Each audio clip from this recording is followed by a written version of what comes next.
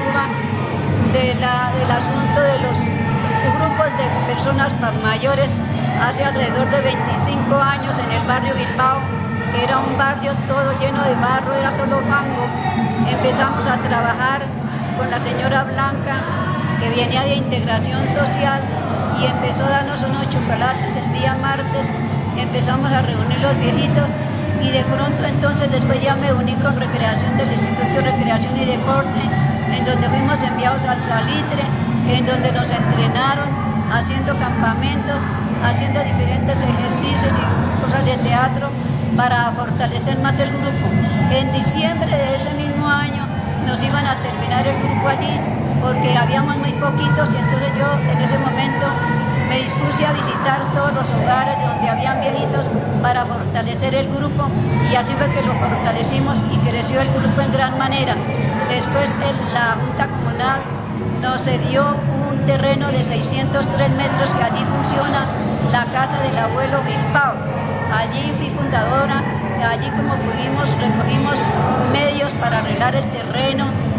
después de que recogimos, arreglamos el terreno, la Junta Comunal nos ayudó con una postería de la luz, la cerramos, hicimos una cabaña en donde nos reuníamos, después el Instituto de Recreación y Deporte nos envió buses para llevarnos al instituto, salí en muchas ocasiones con ellos, los, los abuelos jugaban tejo y rana, allí pudieron participar y conocer verdaderamente lo que valía la persona mayor. Nos hemos reunido también en Suba, allí precisamente con el instituto, en donde también estamos las, estamos las líderes allí reuniéndonos. Yo de todas maneras seguí trabajando con, con integración social porque aquí en toda la tierra sabemos que hay muchos viejitos que no tienen nada con qué desayunarse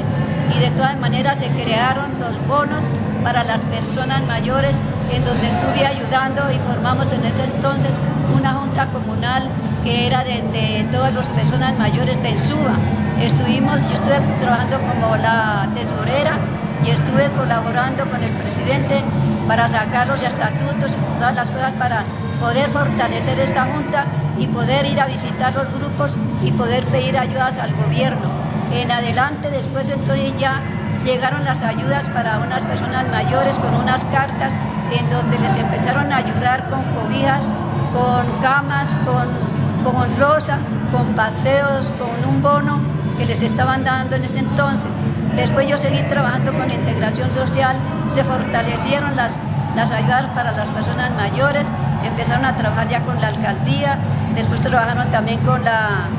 con, el, este, con la ayuda del gobierno, que se sabe que hay tres modalidades de, ayudas para las personas mayores, en donde están recibiendo en este momento, reciben sola la, la suma de 120 mil pesos.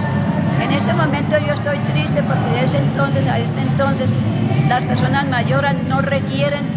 no requieren sino de, esa, de esos centavos y hay muchos que pagan arriendo, pagan arriendo y no tienen, muchas veces no tienen con qué alimentarse. Más adelante, de todas maneras, yo seguí trabajando, estuve trabajando en un entonces con el Instituto de, Bienestar Familiar, en donde me ayudaron en un tiempo con un comedor comunitario para las personas mayores, lo cual fue una buena ayuda, pero de todas maneras, por circunstancias de la vida que ocurren en, en las situaciones, tuvimos que acabar con dichos comedores en toda la localidad. Pero de todas maneras, yo sigo trabajando con integración social en donde estamos trabajando para conocer, conocer las situaciones y las anomalidades que hay en las personas mayores de la localidad, lo cual es importante porque en sabemos que estamos sufriendo por la salud. La salud para el viejo es muy, muy es terrible, porque los pobres viejos hay que no hay quien los vea en la casa. Y yo siempre sigo luchando por eso, porque hay muchos viejitos que viven solos, no hay quien los visite, no hay quien los acompañe a una cita médica, no hay quien los ayude. Y eso a mí me duele, me duele muchísimo, porque de todas maneras somos ausentes a las instituciones. Las instituciones no se dan cuenta de este gremio, de estas necesidades.